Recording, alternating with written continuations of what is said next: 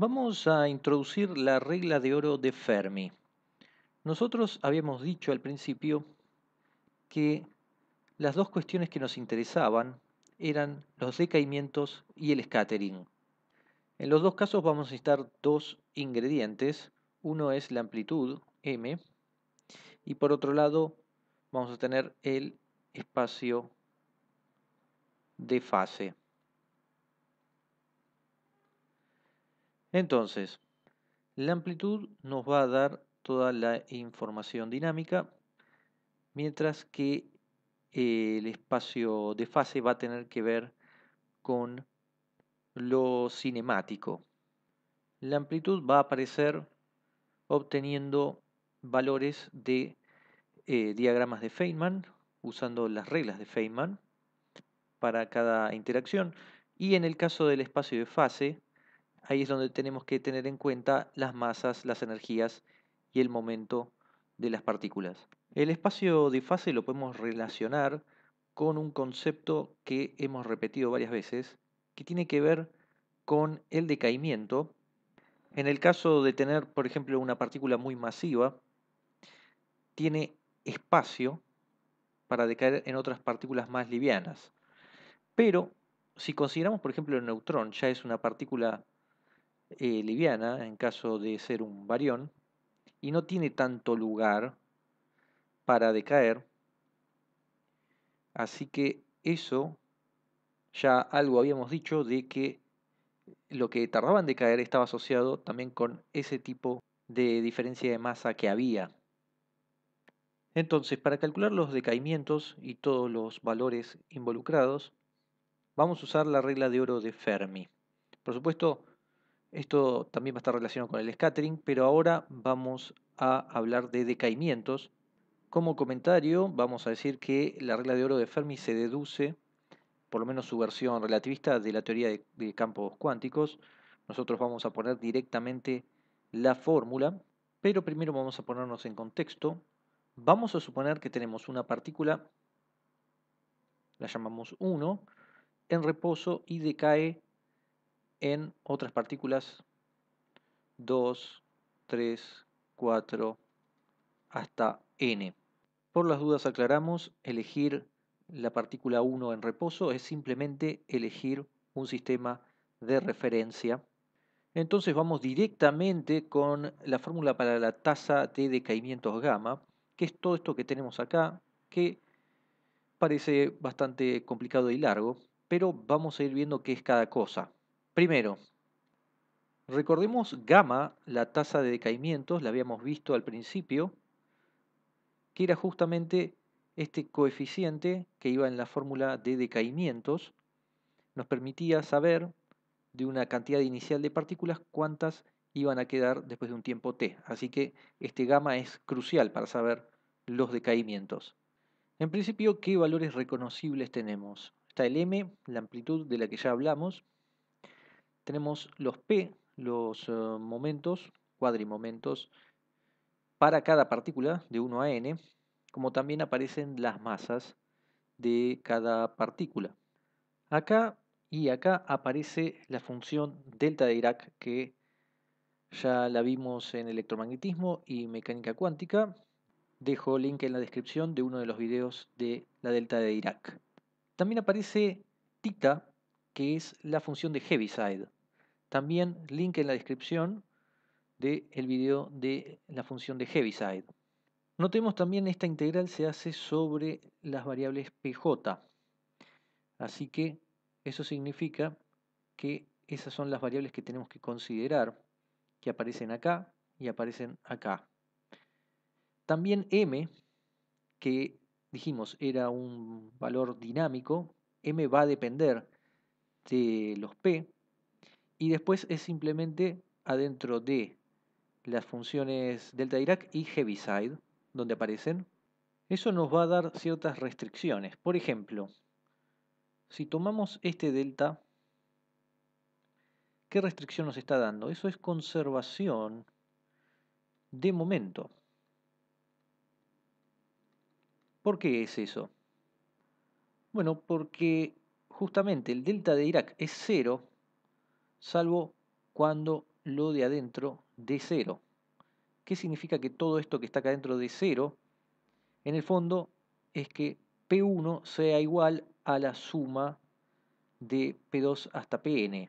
Vamos a escribirlo acá, delta distinto a cero, esto va a ser cuando P1 menos, etcétera, hasta Pn sea igual a 0, y esto es lo mismo que P1 igual a, como decíamos, P2 hasta Pn. Y esto es conservación de momento. ¿Qué pasa con la parte de Heaviside? Vemos que ahí aparece PJ pero un 0 arriba. Recordemos, la primer eh, componente del cuadrimomento tenía que ver con la energía. Y en el fondo, ¿para qué se usa Heaviside? Heaviside nos daba un 1 en los positivos y 0 en los negativos. Es decir, que solo nos va a mantener la parte positiva.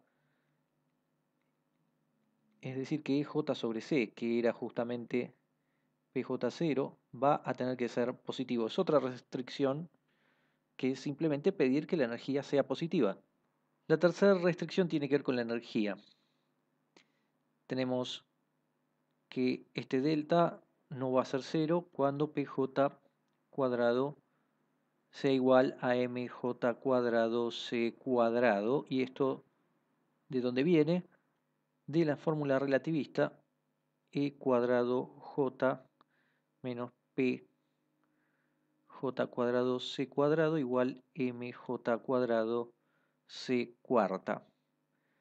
Está relacionado con la energía.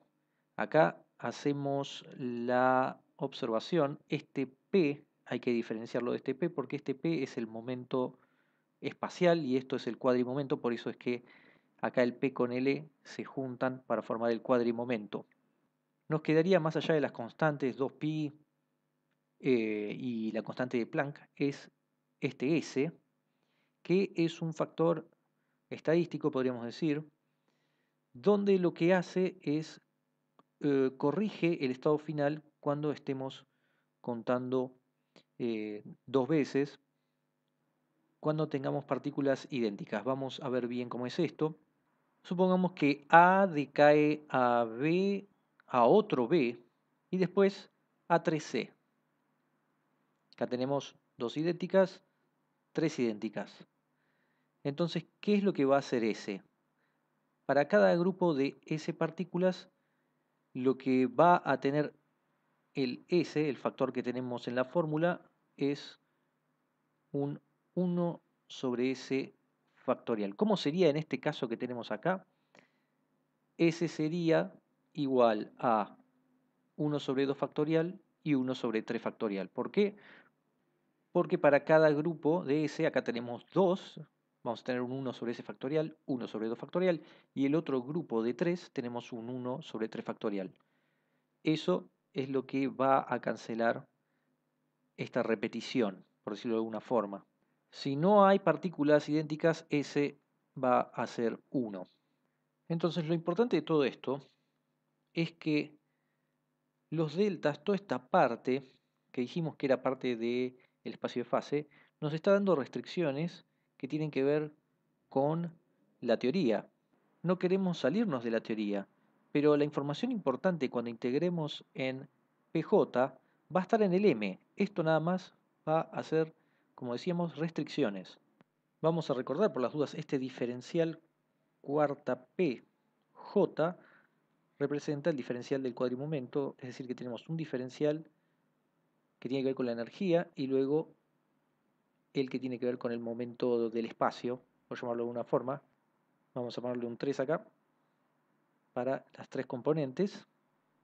Por ejemplo, en el caso de este delta, delta de pj cuadrado menos mj cuadrado c cuadrado, esto en el fondo, si esto es un cuadrimomento, es delta de p0 cuadrado menos p cuadrado, y este otra vez es el espacial, menos mj cuadrado c cuadrado. Otra observación importante, porque estamos poniendo el sub j acá, ¿qué representaba el sub? Tiene que ver con la cantidad de partículas que salen.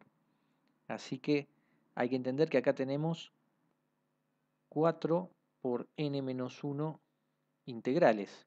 Tenemos n menos 1 porque se hace sobre las partículas que son salientes y 4 por, que ahí sí tenemos lo que decíamos, energía y las tres componentes de P. Otra observación importante, no lo pusimos, pero acá también hay conservación de energía, porque tenemos cuadrimomento acá, así que también la energía se tiene que conservar.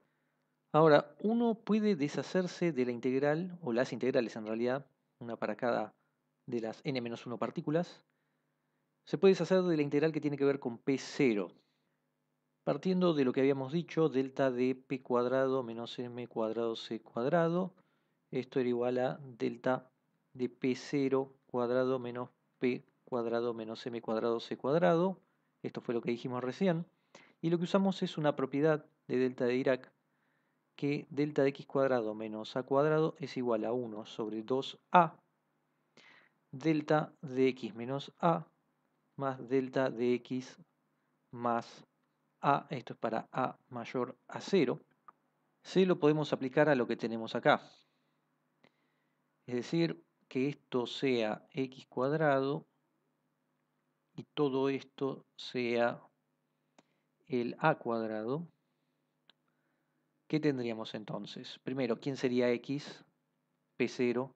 ¿Quién sería a? Sería raíz de p cuadrado menos m cuadrado c cuadrado. Entonces, delta de todo esto que está acá adentro, a qué es igual, es a un medio a, que es la raíz de p cuadrado menos m cuadrado c cuadrado. Y ahora vendría delta de p0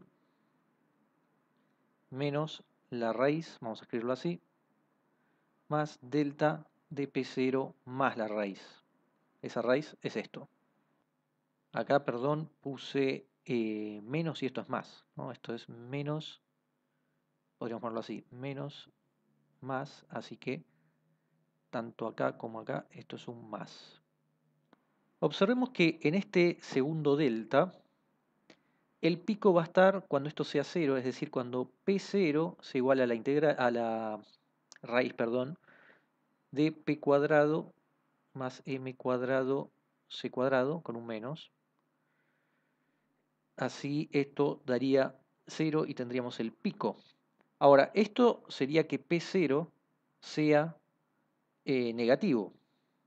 Pero entonces ese delta sería 1 cuando P0 es negativo, pero acá tenemos un Heaviside de P0 y eso significa que los negativos da 0, es decir, que el delta, delta por el Heaviside, este delta, vamos a ponerlo así, más raíz, esto da 0 y para la parte de los positivos, que sería P0 menos raíz, esto va a dar 1 por el delta, pongámoslo de esa forma, para que quede claro que P0 ahí va a ser positivo y en este caso negativo. Entonces al final nos va a quedar un 1 porque cuando P0 sea negativo con el Heaviside se hace 0 y cuando P0 sea positivo, con el Heaviside se va a hacer 1. Acá mejor saquemos este delta. Así que si hicimos todas las cuentas bien, uno puede obtener la fórmula más abreviada, sacándonos de encima la integral que tenía que ver con la energía, con P0, pero siempre y cuando teniendo en cuenta que lo que teníamos como P0 j ahora es raíz de pj cuadrado más mj cuadrado c cuadrado, donde este p es el espacial. Y entonces cambiamos la energía por momento espacial. Es importante remarcar, el P0 sigue estando adentro de este delta y adentro del M, pero uno puede hacer este cambio y que ahora dependa de PJ y entonces podemos hacer integrales solo con el PJ el espacial y no de la energía.